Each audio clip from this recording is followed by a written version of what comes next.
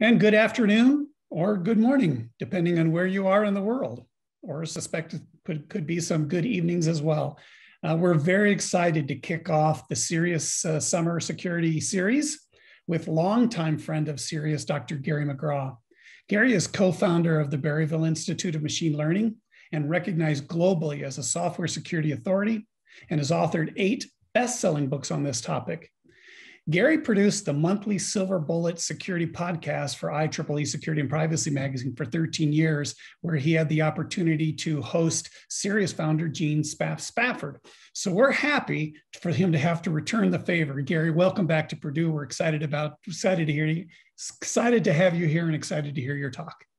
Yeah, great to be here, Joel. So I understand that I apparently do this every 10 years or so. First talk was what 2001 and then we'll pretend the other one was 2011 but it was really 20, 2009 and now it's 2021 how did that happen?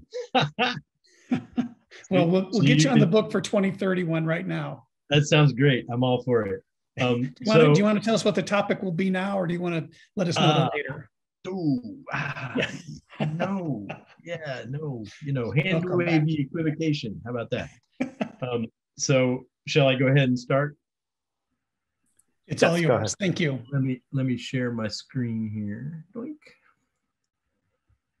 So what I'm going to be talking about is um, security engineering for machine learning. And there's kind of an important thing here, which is a lot of people are using machine learning to do security. So you have machine learning as, say, uh, an enhancement of a security feature. Um, and uh, fewer people are doing what I'm doing, which is the security of machine learning. So my view is that if you can't secure your machine learning stuff, then why would you possibly use machine learning as a feature to enhance security? But all people don't, uh, you know, don't approach it the same way.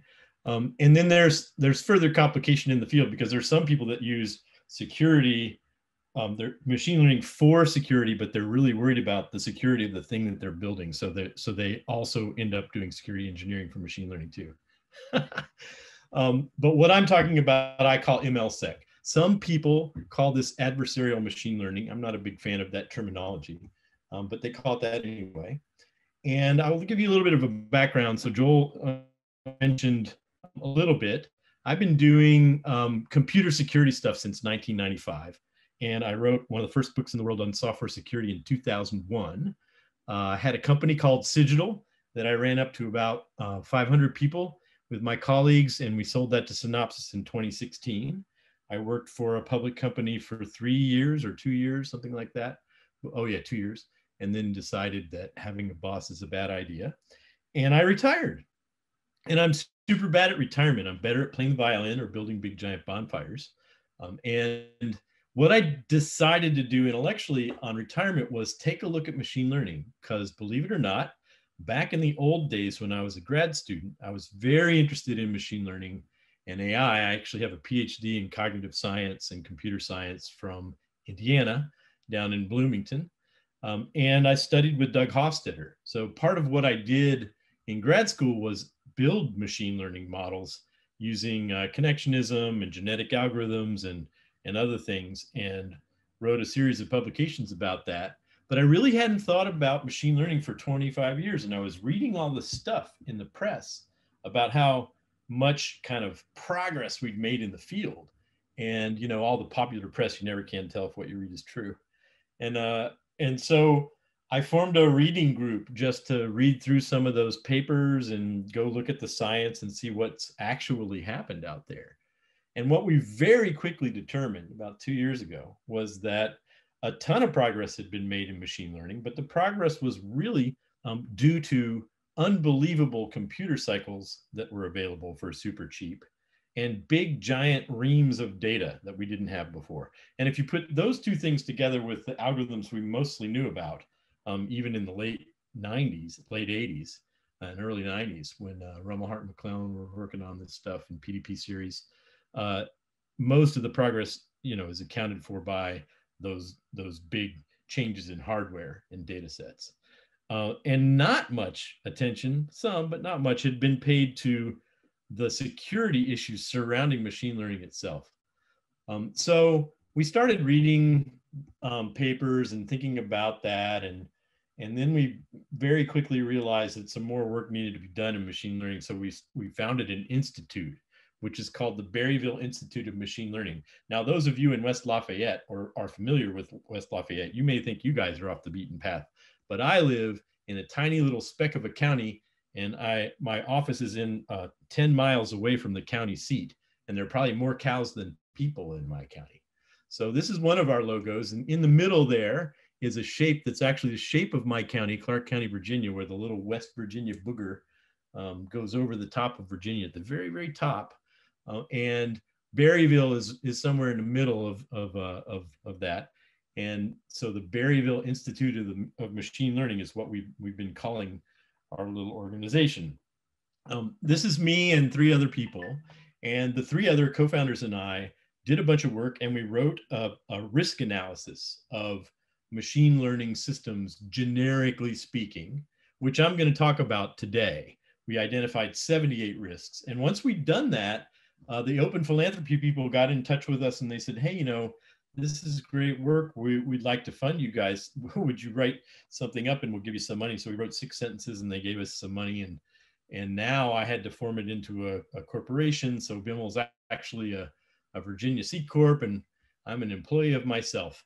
Um, needless to say, another way of saying all this is that I really suck at retirement. Uh, but I am very interested in this space, something that we were doing for fun. And what I want to share with you today is the results of a couple of years worth of work. First, let's start with an introduction to machine learning to catch everybody up to speed. Um, because the terms AI and machine learning and deep learning and all this stuff get thrown around kind of with impunity by the press as if they're equivalent, and they're really not. Um, we are never going to stop the press from doing what they do. But kind of here's here's here's a, a view that I stole from Melanie Mitchell, who wrote a fantastic book called Artificial Intelligence: A Guide for Thinking Humans. You can see the cover right there and Melanie allowed me to steal her slides. So back in the 50s, um, when McCarthy and those guys were were thinking about um, AI, there was a very famous um, meeting at Dartmouth, and a few white men got together and they decided they could solve AI in I think it was a week or maybe two weeks, and it turned out they were way wrong. Um, but artificial intelligence really got its start in the 50s, um, and you know, machine learning was a little bit of piece of that. There was something called perceptrons that was uh, that came about by a guy named Rosenblatt early in the early days. And that's kind of, you know, you can think about that green square as perceptrons and maybe um, some aspects of Bayesian learning. Um, and then connectionism or deep learning was a little tiny subset of that all the way up through the 80s, really when uh, the PDP books were published. So AI is this big thing. There's lots of stuff that happened in AI. There's lots of stuff still happening in symbolic AI and everywhere else that's not really machine learning. But this is what it looked like up until I went to grad school. Then around the early 1990s, it sort of turned into this because of PDP and the resurgence of connectionism. So we had AI and then machine learning was big, but still deep learning and you know multi-layer connectionist networks were pretty little. Nobody had invented convolution networks yet. And then in the 2010s, this happened. Now, um, when people talk about AI in the popular press, they really mean deep learning. So you get the terms AI and machine learning and deep learning all thrown around the same. Um, but basically, what I'm talking about today when I say machine learning security, I want to address the problem of, um, of uh, multi-layer connections networks. So deep learning uh, uh, kinds of things for machine learning. So that's kind of you know setting the stage for uh, what I'm going to be talking about. Of course, the the whole idea behind these deep neural networks is to use the brain as a metaphor for how computation may occur. And the idea behind deep learning is well, let's just look at something like the visual system in the human brain and let's figure out how that kind of sort of works and then we'll build a model of that with artificial neurons and and connections that are the same now if you look at a real neuron and you look at say the synaptic calcium channel stuff and all of the chemical soup that that stuff floats in and the way um, you know axons and neurons really work uh, what we're using today to count as a neuron is a very silly little model indeed.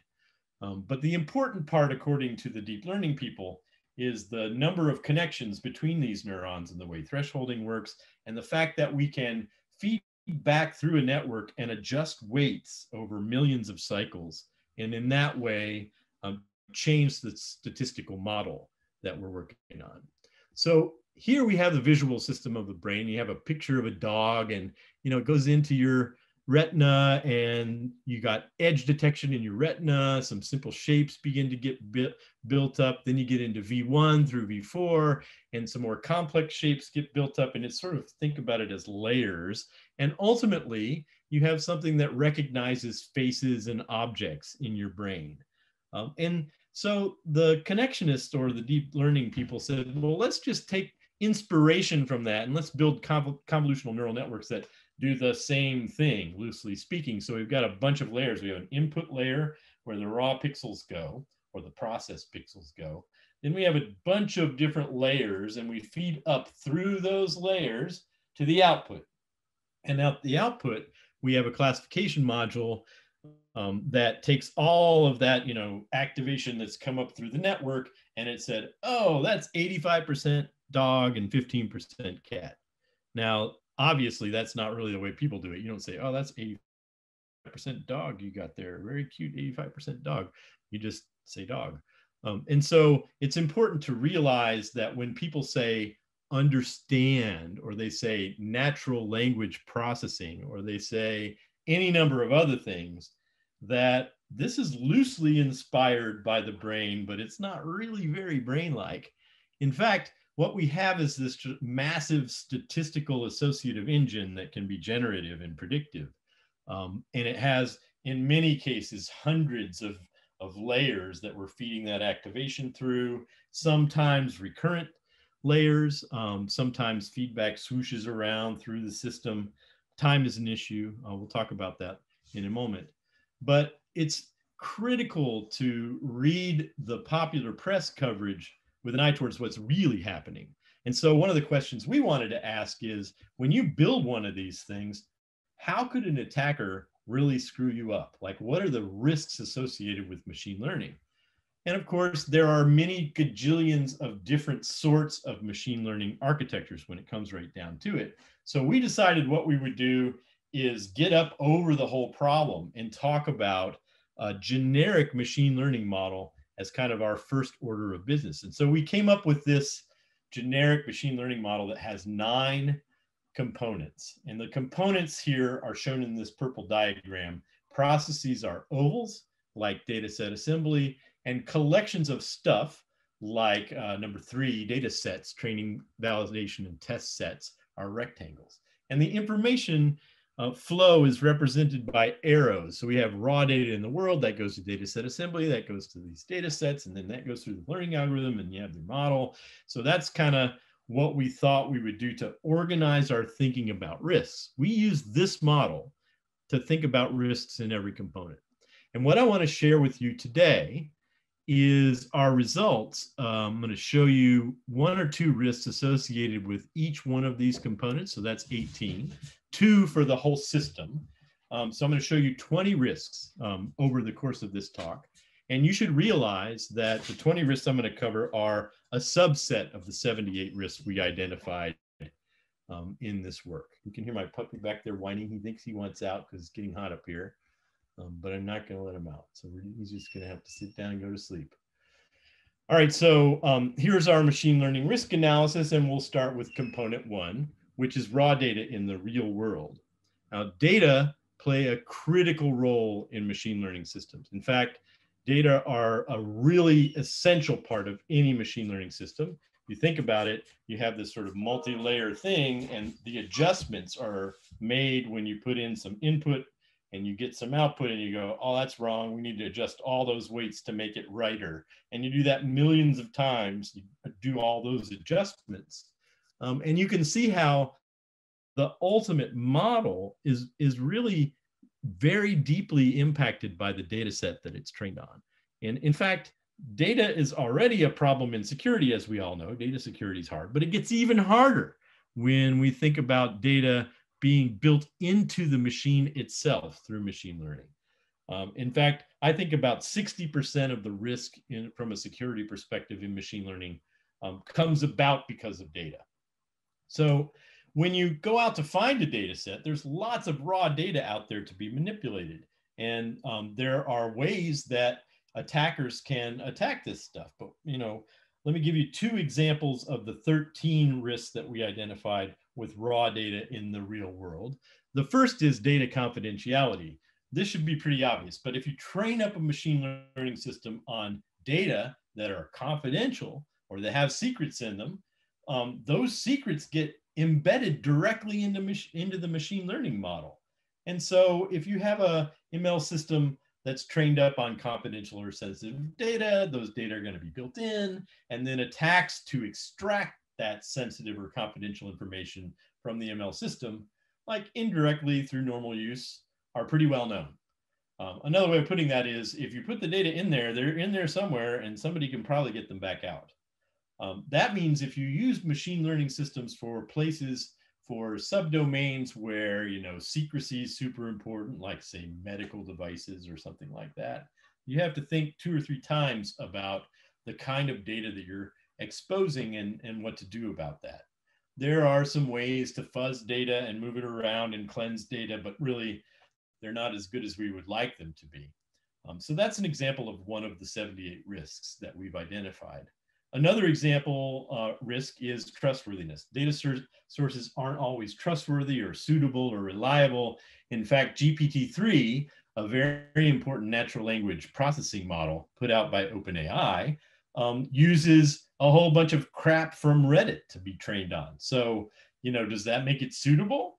Well, I don't know. Have you ever been on Reddit? Reddit's got some stuff that you don't really want a machine to think about, but the machine is being taught that that's how people think, and so it should think that way too.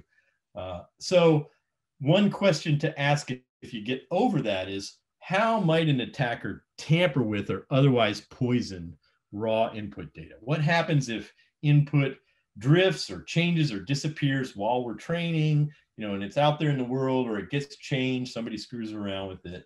Um, so those are two examples of risks associated with the raw data that we're going to use um, it's not even processed yet. It's just out there in the world. You can't trust everything you find. Um, and these large models don't necessarily throw out the stuff they should throw out. So one of the next components is assembling that data into something useful. Raw data have to be transformed into a format that the machine learning system can use. And that involves usually a lot of pre-processing.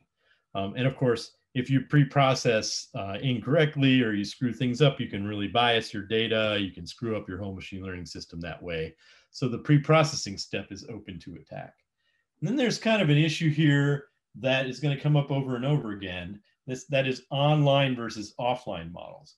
In an offline model, you train up your machine learning system on all the data and you stop training it. So you decide you're done you sort of freeze the weights and then you use that model to process new information, but you don't change the weights. You don't do any more learning.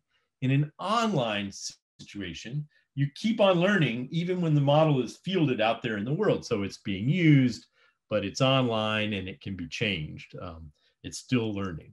So uh, at the data set assembly uh, uh, level, we have to think about um, online versus offline models. So let me give you two examples of the eight risks we found at Dataset Assembly. The first is that the encoding um, that you do, integrity is really, really important. So you can introduce and exacerbate problems in encoding during pre-processing. Does the pre-processing step, step itself introduce security problems? And one of the things you have to think about is bias. Um, so if we have a bunch of raw data and we decide we're just going to divide it up into males and females as if there are no intersex people or, you know, white people and black people, and those are just absolutes, you know, which is absolutely ridiculous. That's not the way the real world is. Then you introduce bias by kind of doing that separation and categorization. And if you've done that yourself, your machine learning system, which is just a bunch of statistics, is going to learn all that stuff there are really important moral and ethical implications here. Um, and there's a whole subset of machine learning um, security stuff devoted to bias. Uh, and it's even caused people to get fired from Google and all sorts of controversy and the usual stuff. Uh, another example of a risk here is the way that data are tagged and bagged or annotated into features um, can be directly attacked, including you know introducing attacker bias into a system. Um, so a machine learning system that's trained up on examples that are way too specific won't be able to generalize, for example, or and you know it's often hard to make machine learning systems do what you want them to do. They're very good at slipping out from your constraints. Um, I'll give you an example. Uh, there was a well-known model that was supposed to be trained up to discriminate between wolves and dogs. So it got trained up on a bunch of wolf things and a bunch of dog things, mostly pictures. And you give it a new picture and it would say whether it was a wolf or a dog in the new picture. So it's supposed to be a, a wolf dog discriminator. And it worked really well on its training set. It worked well on its on its uh, test set. Um, but when they put it out there in the world, it started failing spectacularly because it turned out that what they had built wasn't really a wolf detector as much as it was a snow detector because it turned out that every single picture of a wolf had a little bit of snow in it. And very quickly, the machine learning model learned to look for snows. Like if there's snow there, it's a wolf. Um, and of course, if you put dog on snow, it would say it's a wolf, and it would be really confident about that, which goes to show you that, you know, these things are going to learn stuff you don't really necessarily want them to learn. Um, and a lot of the human engineering that goes into machine learning is spent cleaning and deleting and aggregating and organizing and throw out, just all out manipulating the data so it can be consumed by an ML algorithm. Uh, and that's kind of kludgy, but that's what really happens out there in the world. So that's two examples of risks associated at this component level. The next component we'll talk about is data sets. It turns out that um, data are grouped into training and validation and test sets. Uh, and figuring out how to partition your data into these sets is really important and it deeply impacts the future behavior of the machine learning system you're building. So if we have a training set, we got to make sure that the training set and the validation set have the same kind of categories and coverage in the world. And we got to make sure that the test set, ultimately, before we decide to release something, it has to pass its little test set, actually lines up with the training set and the validation set. And so we're testing the whole range of possibility space. And all that stuff is hard. Figuring out how to build those sets uh, it's pretty pretty much like well we sort of do it this way but there aren't any really um, formal ways to decide that partitioning. So here are some examples of risks in this data set assembly. Number one is poisoning. Um, of all the first three components in our generic model, that is raw data in the world and data set assembly and the data sets themselves, they're all subject to poisoning attacks, whereby an attacker intentionally manipulates data in uh, any of the first three components possibly in a coordinated fashion in order to cause the ML training to go off the rails. Uh, I'll give you an example of this. There was a famous ML system called Tay that Microsoft put out. It was supposed to be a little Twitter bot. So Tay was supposed to go out in the world and interact on Twitter and be all cute. Oh, look, the little ML is on Twitter tweeting away. And of course, as soon as they threw Tay into Twitter, it became a racist, xenophobic, uh, misanthropic troll. kind of a little machine learning asshole, if you will. And it was such a bad actor that Microsoft had to just turn it off.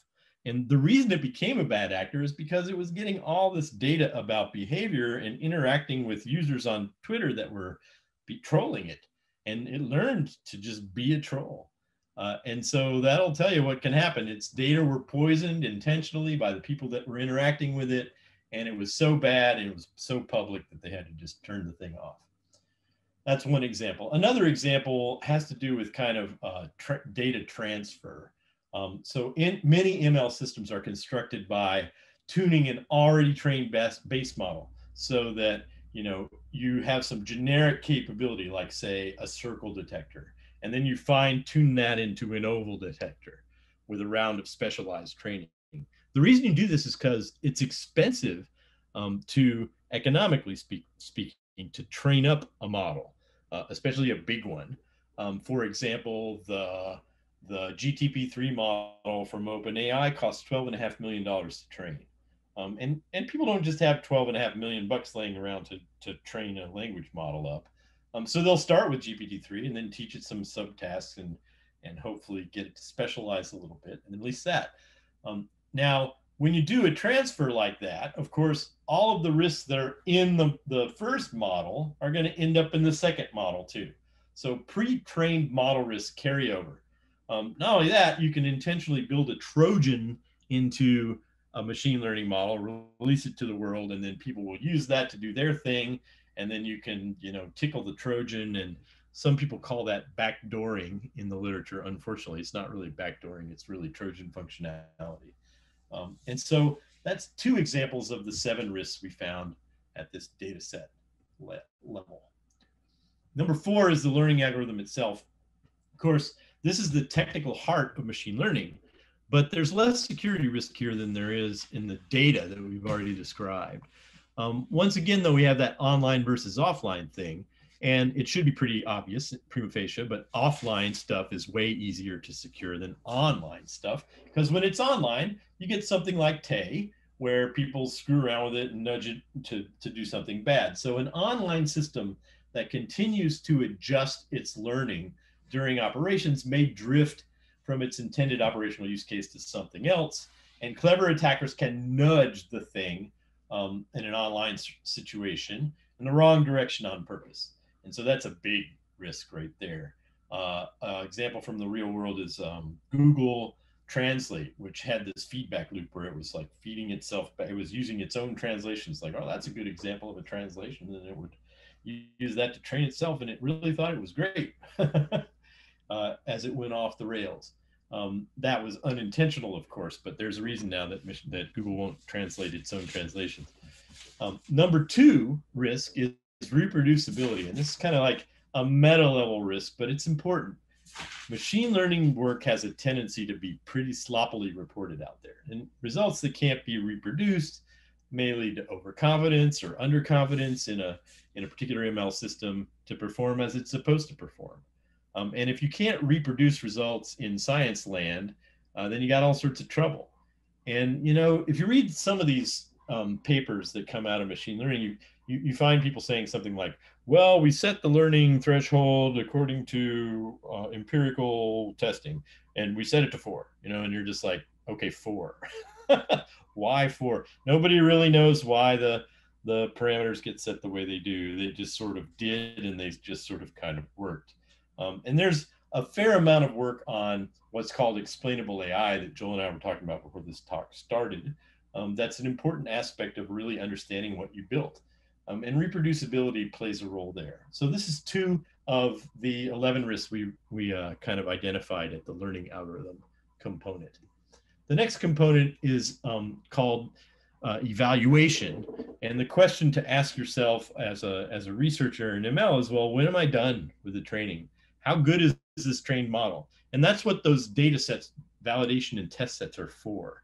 Um, so, you know, if you get your validation and test sets wrong, you're not going to know when you're done, or you might think you're done when you're not, um, or you might think your model is better than it really is. So, like I told you before, that idea of the validation and test set stuff is pretty darn critical. Um, so here are two examples of the seven risks we sort of tagged at the evaluation level. The number one risk has been around forever, and it's called overfitting. So obviously, a sufficiently powerful machine is capable of learning its training data set so well that it just essentially builds a big giant lookup table. And so this can be likened to memorizing the training data. Um, and of course, if you do that, you're really good at the training data, but you don't really generalize. So if you don't generalize and you're really good at just parroting out the stuff you got trained on, um, that's called overfitting. And there's always been this kind of, you know, how much fitting is enough fitting? Like, how much generalization do we want? Ooh, that's too sloppy, and you want to adjust it to just be exactly right. And nobody can tell you exactly how to do that adjustment. You just have to do it. So that's one example. Um, and another example is just plain old bad evaluation data. A bad evaluation data set that doesn't reflect the data that the ML system will ultimately see in production can mislead a researcher into thinking everything's working and everything's fine even when it's not. So evaluation sets can be too small or too similar to the training set or whatever to be useful and give the person training up the ML model the impression that their ML system is better than it really is. And then they put it in place and then it doesn't do what it's supposed to do. So that's two of the seven risks that we identified at evaluation mode. Moving on, the sixth component is inputs themselves. Of course, this is very similar to raw data in the world. You can see there's a there's a direct line there. So we use the raw data in the world. We, we get it all set up and then we do the learning. And now we have inputs that we're putting into the system. They probably come from the same place out there in the world. So what input is fed into the train model during production? Where does that come from? Who can impact that? Uh, very similar in nature to the data set assembly risks and raw data risks that I've already described for risks from. Um, but this is where we have our first um, piece of terminology that gets thrown around with impunity in machine learning security, and that is adversarial examples. So let's just think about this from a computer security perspective. One of the most important categories of computer security risk is malicious input. And the machine learning version of malicious input has come to be known as adversarial examples. I think the terminology absolutely sucks, by the way. I would rather call it malicious input.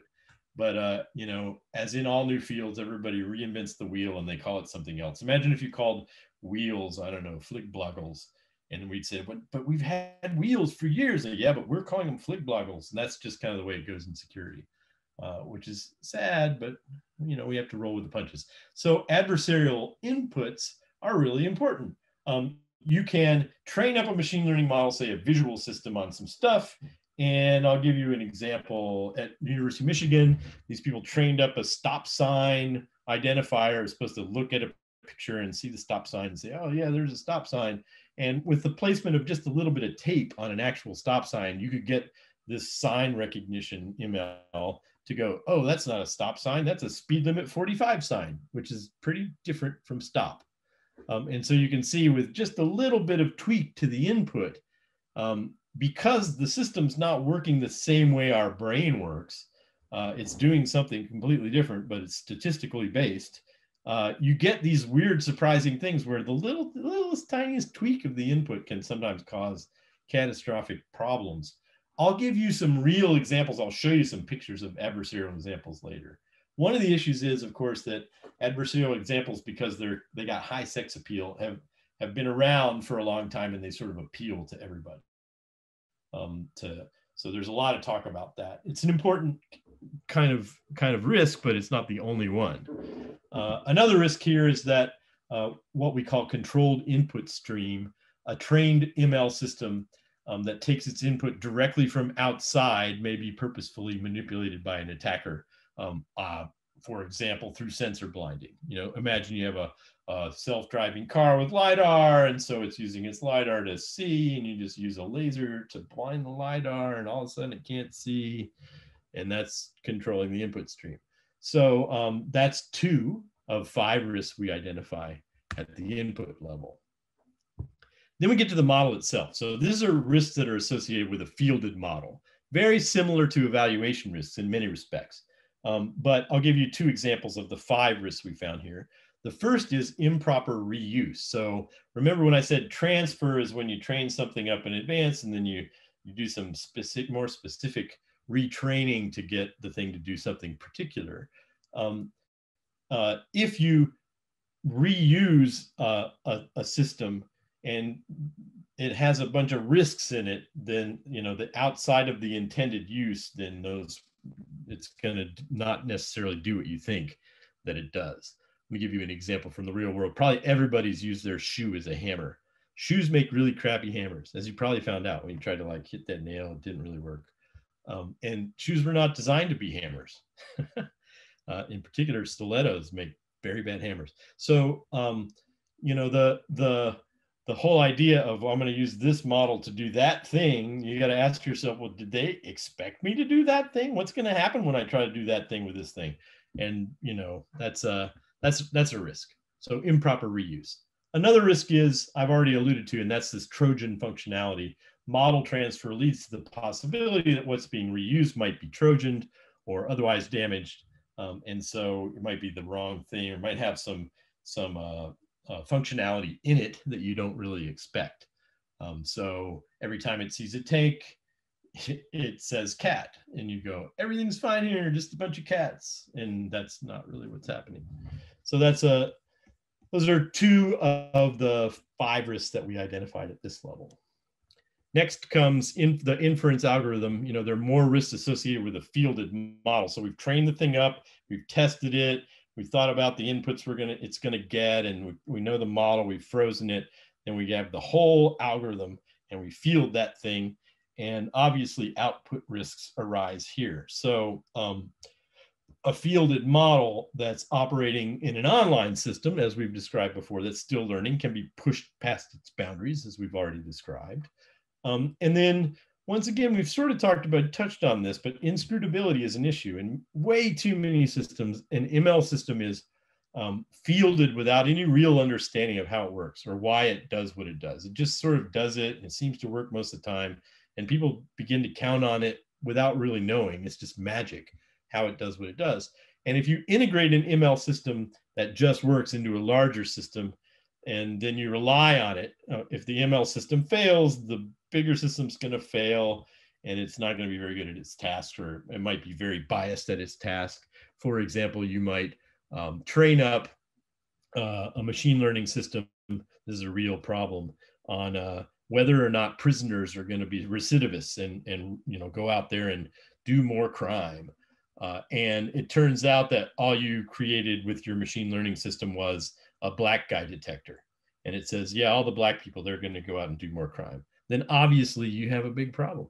Um, and if you don't know how your model's doing what it's doing, you didn't realize that it was just a black person detector that you built, um, then you're going to end up causing some terrible things to happen out there in the world. So those are two cases, uh, two risks of five that we identified at that level.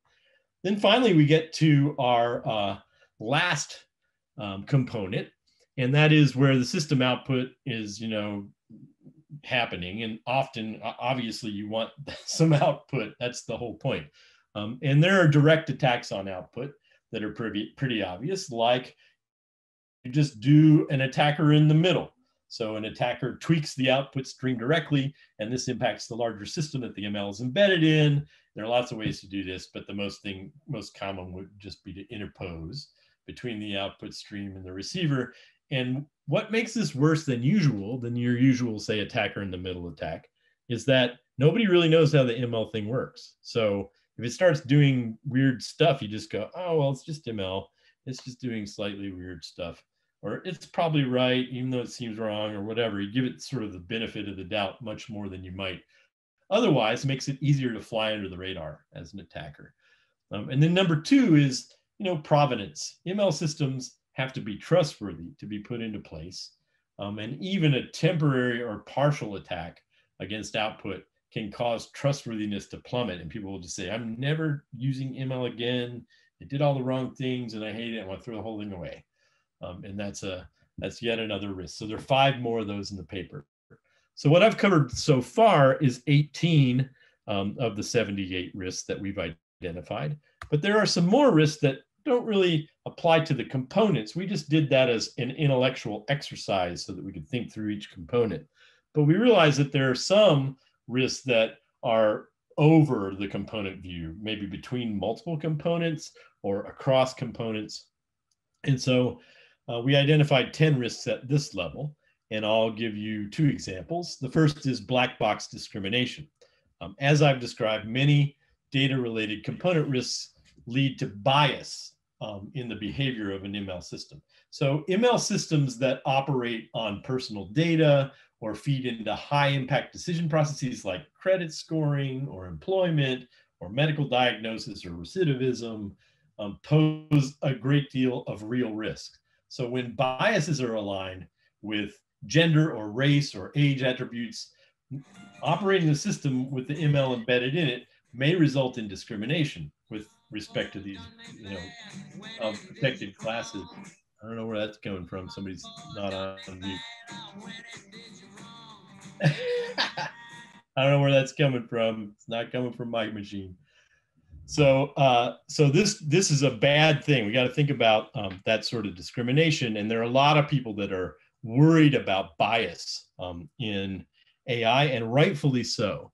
Uh, and we we really don't know how to deal with that right now. I mean, one of the issues is that we often first turn to historical data to train up a machine learning system. You say, well, I've had a bank since 1850, and you go back and you say, well, you know, women didn't even have rights back then. So we're going to train up a machine learning system to do the same stuff we did when women didn't have rights. Like what? You know, so it's it's uh it's important that you think about um, this sort of discrimination and bias that we're building into these systems. Another example is overconfidence. So a system with a particular error behavior, because they all have that, is integrated into a larger system but its output is treated as always high confidence. So sometimes the thing goes, uh, dog, maybe? And we go, oh, it said dog, so it's definitely a dog. Um, users of the system might become overconfident in operating the whole system for its intended purpose. So if you develop overconfidence in an ML system, um, that's bad. And that's easy to do because most people don't really understand how they work and they're only vaguely described and there's a bunch of parameters and blah, blah, blah.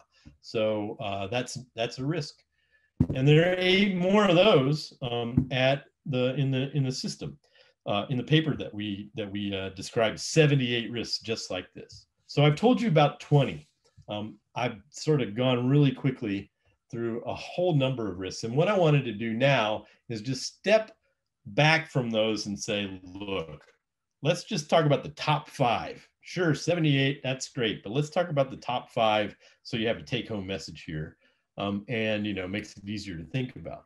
Well there's obviously a danger of just focusing on the top five and you know the first one will give you a perfect example of that because adversarial examples are what everybody talks about when they talk about machine learning syst- uh, systems and and security and this is only one of 78 risks so this is probably the most commonly attacked one so this is where we fool a machine learning system by providing malicious input often involving pretty small perturbations that cause the system to screw up.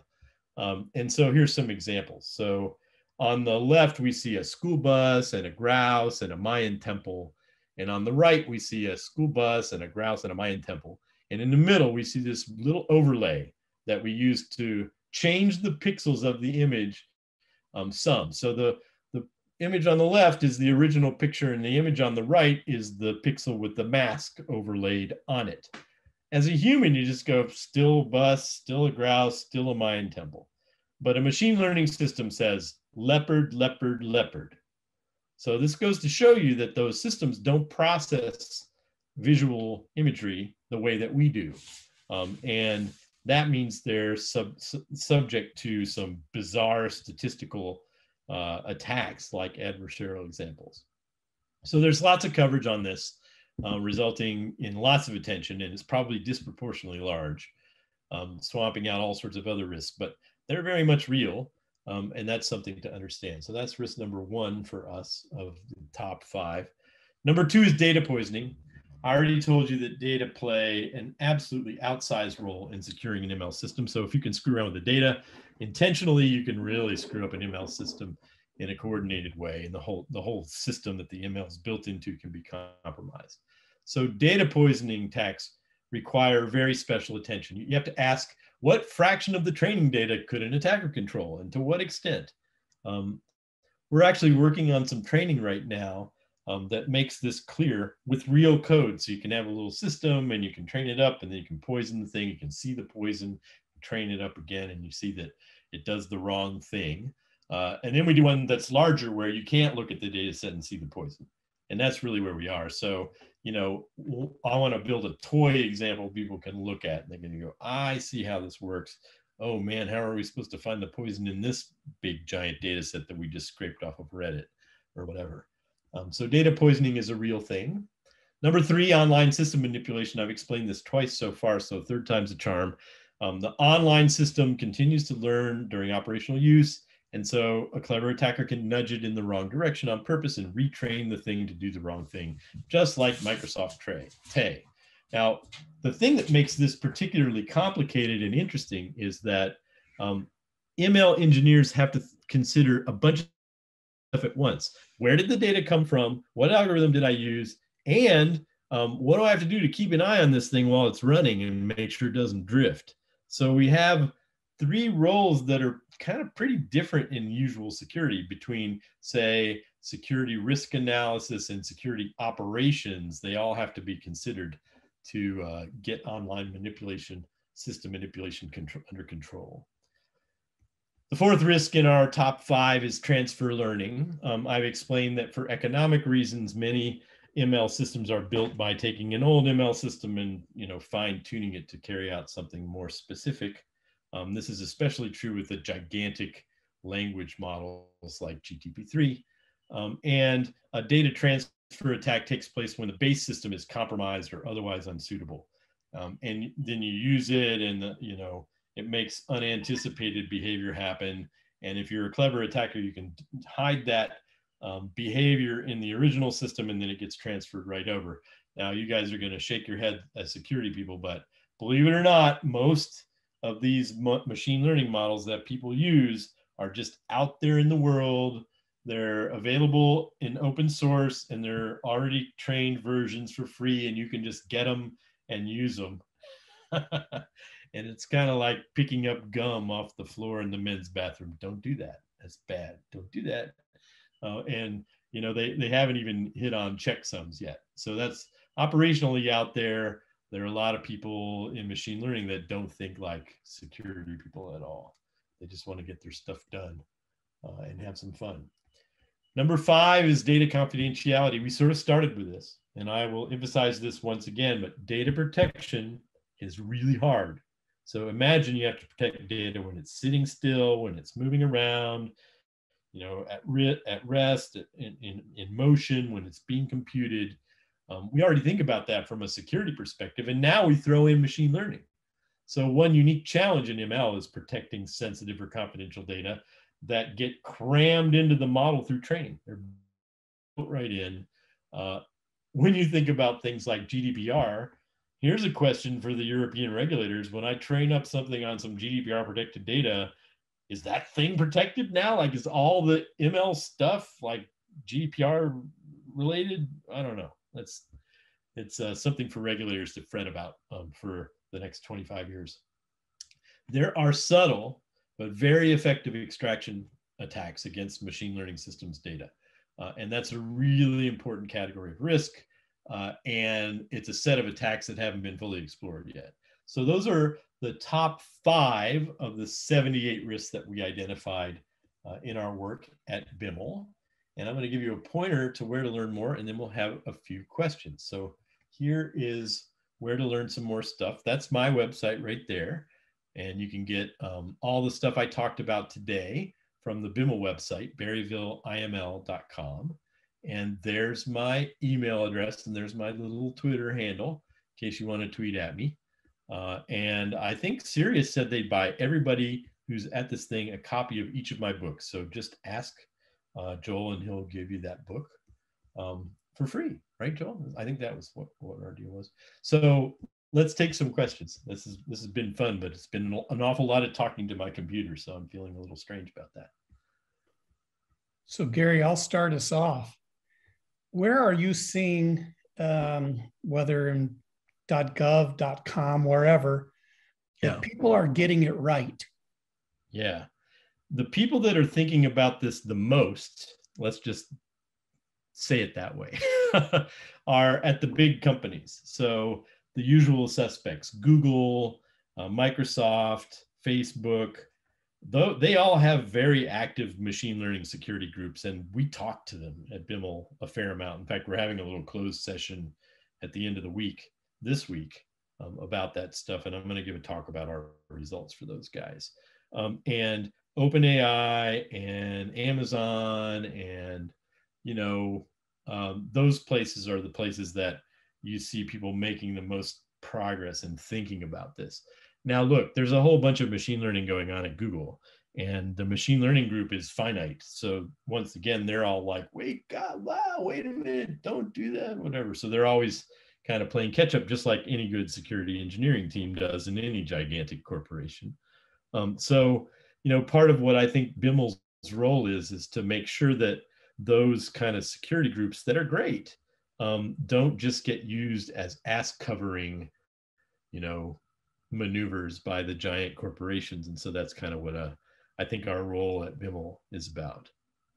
Does that answer so for question? the attendees, if you've got questions, please uh, type them into the uh, Q&A section and we'll get them addressed. Yeah, let me stop sharing my screen real quick. Boink, I can see you. Yeah, feel free to ask. And I, I put in the chat uh, a copy of the URL to the paper that we put out. Um, so you can snag a copy uh, if you want. Uh, ask you to register. There's sort of a registration wall, but you can just lie to the registration thing. Just tell it you're Bill Gates, like everybody else does. I'm not asking myself a question. Don't be shy.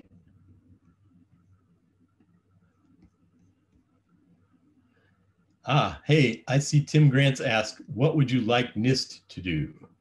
Um, I think that NIST has been gathering a lot of information about attacks and they try to build an taxonomy that seemed to me more like a big giant collection. Um, and so I think what NIST can do that would be very helpful is to make sure that we don't just fall down into the attack of the day hole um, and worry about only adversarial input, for example. Um, but we get past attacks and we start thinking about systematic risks um, of the sorts that we're identifying at at uh, at BIML. Um, and that's a that's a hard thing um, to to do. Like uh, you know, figuring out how to do that. I don't know how to do that.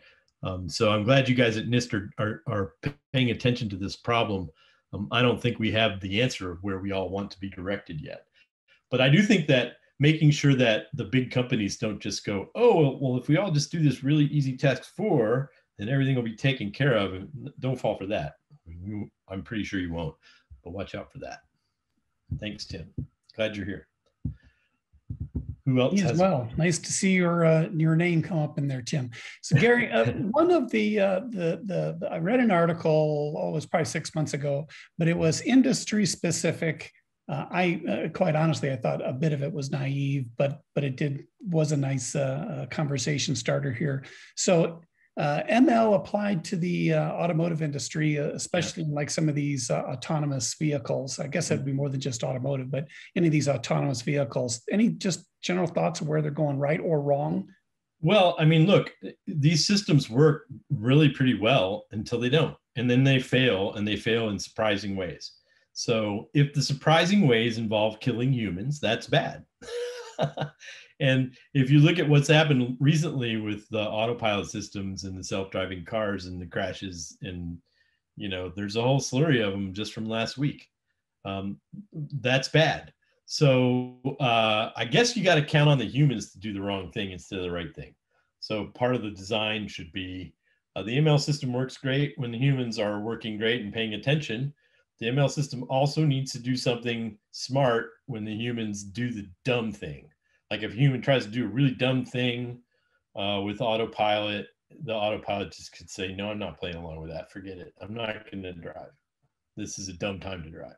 Go park or something like I'm that. The, I'm the father of a uh, engineer who works at one of the, the big three automotive industry, uh, automotive manufacturers. And I know that uh, he's been somewhat involved with that. And, and, and I can tell you that, that even from his perspective, they recognize that and they're not taking it lightly. So it's it's oh I know certainly coming. It's certainly coming. I think. Oh, I know, and, it, and it's not like self-driving stuff is is exactly new. I mean, I was in a self-driving Hummer at CMU in 1993, really, and it, it had to be a Hummer because it had to carry around its generator to run all the SPARC stations to do the analysis. But it was using deep learning to drive itself around, and it did a pretty good job.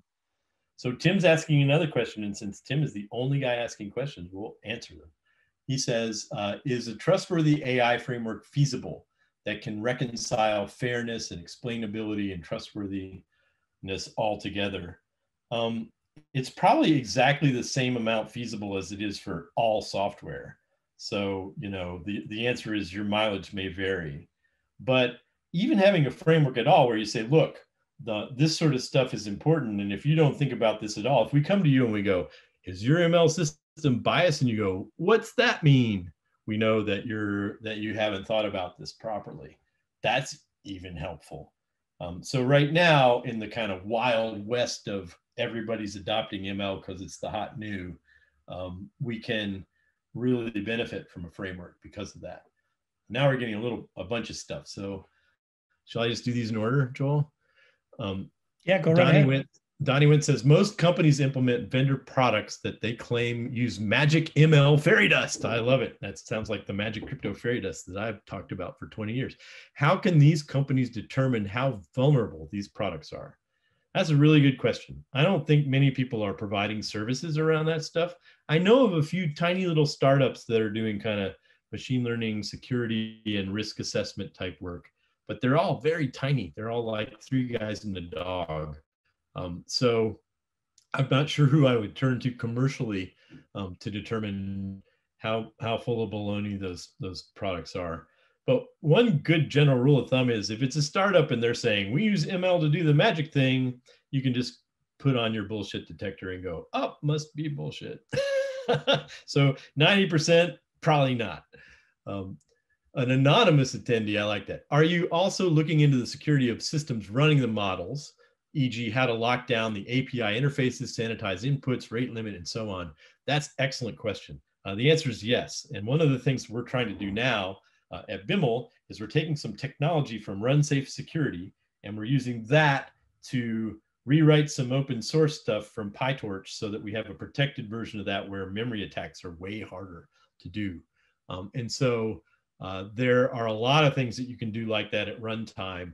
Um, guidance on system deployment is going to, you know, matter. It sort of matters what it is you're doing with ML, but you shouldn't just assume that the ML is always going to do the right thing.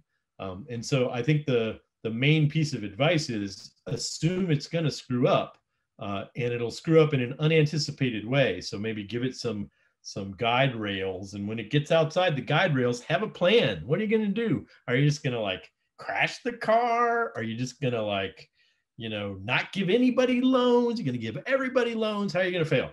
So so uh, knowing that is is kind of what you have to do. So that's the answer to that one. Tim Shamil asks, um, given that machine learning is being applied to analysis of network traffic data, what big risks should we be looking for? And since I'm not a network uh, traffic data guy, the answer is beats me, man. I don't know. Uh, maybe we should all look for the evil bit. We can ask uh, Steve Bellovin if we can get the the FAQ on the evil bit, and then we can just set up ML to look for the evil bit. I don't know. Good question. Not a network guy. Uh, Donnie Went asks, "What's the name of the dog?" The name of the dog, who's over there right now, sleeping on the couch because this is his like maybe tenth version of this talk he's had to suffer food through, and it's kind of hot because I have the AC off up here, so you guys can hear me. Um, the name of the dog is Moonshine, and Moonshine is only four months old. And, you know, so he's not even halfway grown. He's going to be a gigantic dog, but boy, is he good. I raised about 10 puppies, and he's the best one so far. Finally, Tim Grance gets to ask the very last question, I think, because we're done with our time. Um, and Tim should get to ask three questions because he's being very proactive. So he says, Do we overemphasize models and endless tweaks over good data? Um, P.S. Your dog is bored. I know the dog is bored. You really would rather have a treat. Um, yes, I think we do overemphasize models and endless tweaks on models over good data. But the problem is that if you look at the data work, say the stuff that was it's produced by IBM, they have this whole ML data cleansing set, look for bias or whatever they provide like 150 little ways to look for stuff in your data, but they don't give you any guidance about how to apply those tools. So there's no magic solution to if you just run your data through that sieve, everything will come out fine on the other end. We don't really know. Um, there are some people that are working hard on that problem. uh, but we've not solved that one yet. So another good question from Tim. Tim, it is super great to see NIST psyched about ML. So thank you so much for asking good questions and paying attention here. Now I'm going to turn it back over to Joel. Thanks to you all for having me here. I really appreciated the opportunity to tell you what we're doing at BIML. That was fun. Gary, thank you. Thank you very, very much. Can't wait for your talk from 2031. Um, I'm not sure we have that topic yet, but uh, let me know when you're ready to, to, identify that topic. Thanks to all the attendees who tuned in to the very first uh, CERIAS Security Seminar of the 2021 summer. Uh, we will be back next week at 1.30 Eastern. Uh, note, there are a couple of people asked questions of where they could find a cop, a recording of this, uh, of this talk in a few days time. Uh, that will appear at the CERIAS website. Uh, I've got an address in the chat box, but you can also just do a uh, internet search for the CERIAS website and you'll find it there. And everything is also posted for the last uh, few couple years, few years uh, at our YouTube channel. By the way, hey, is my is my 2001 pic talk? Your 2001 is on the CERIAS website. It, uh, no, actually, that one is not because it, uh, you know, I'm checking to see if we have it on videotape and to get it digitized. So get it digitized. Um, I'd yeah. love to see what it sounded like 20 right. years ago. That'd be good. But I would say in 10 years, I hope that your talk will be about uh, how to deal with our computer robot overlords. So yeah, well, the puppet meat puppet me will be speaking. Thanks, guys. So again, uh, really uh, tune in. Uh, tune in next week for our next talk, and throughout the summer, uh, again, 1.30 uh, Eastern time, uh, and take a look online at some of our past talks. as Mike said, Gary's might actually show up there, but um, Tim, but it reads like a who's who in the cybersecurity industry, and you take a look at 20 plus years worth of talk. So with that, we're done for the week. Gary, again, thanks very much. Always great to have you on campus, whether it's virtual or in person. And with Can't that, wait to do it in person, guys. Everybody get vaccinated. Just do it. All and right. with that, we are done for the day. Thanks, everybody. Thanks, Bye. Gary. Take care.